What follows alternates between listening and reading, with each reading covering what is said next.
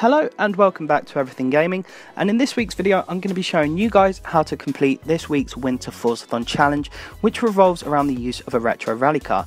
Now a couple of these challenges do look a bit tricky but don't worry I will guide you through them as best I can. Now the car I recommend using is the 92 Escort RS Cosworth and I have made a tune for it as you will definitely need a tune to complete these challenges. It's called Epic Escort and you can find it on my storefront. Now the first challenge wants you to earn 3 airborne pass skills but the actual chapter progress says 5 so you do need to earn 5 of them. Now the first race, uh, the race actually I recommend using is the Gardens Cross Country Circuit uh, which can be found up by Mortimer Gardens. Now I also recommend you change it to at least 5 laps or so so you get plenty of chances to hang back and overtake people um, and get the airborne pass skill. Now obviously an airborne pass skill is just an overtake at the same time as getting air. Uh, and it's actually a bit easier than you might think it is, especially on a race like this. And like I said, I recommend you sort of hang back a bit in the race uh, before approaching a jump and then just gun it as you come up to the jump and get the overtake skill and the air skill at pretty much the exact same time. Uh, as you can see I'm doing here. Now, I know the challenge says to get three of them, uh, but the actual chapter progress wants you to get five, and you do need to get five of them. Just be wary of that, so don't sort of give up at three.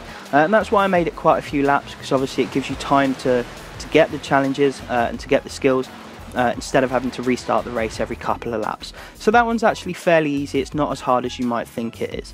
Now the next challenge wants you to get 5 lucky escape skills in your retro rally car, uh, and a lucky escape skill is basically a drift, uh, at the same time as getting a near miss. Now I recommend using the highway and I also recommend going into solo mode as you saw there, so going offline uh, as there is a lot more AI traffic available when you do it as you can see here.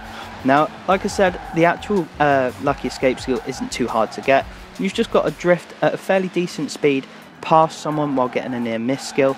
Um, I recommend going a bit over 50 mile an hour otherwise you won't get it um, and be careful not to touch the car as you will basically just get a trading paint skill and you won't complete it.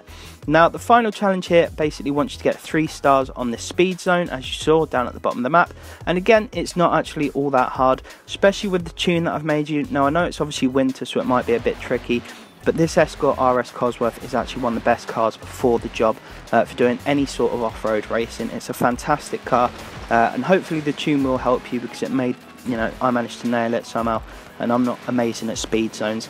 Um, but that one's actually fairly easy. Uh, it shouldn't take you too long. I think you only need to get about 95 mile an hour on that one.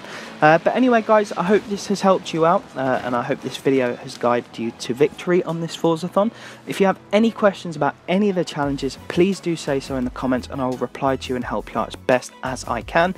Don't forget, if you do want the tune, it's called Epic Escort, uh, and it doesn't mean the other thing. Don't worry about that. Um, and that is available on my storefront. Just type in STEZA01. Uh, anyway, a massive, massive thank you for everyone's support, guys. I hope this video helped you out. If it did, don't forget to drop a like and subscribe for more. Uh, and a massive thank you from me. Cheers, guys.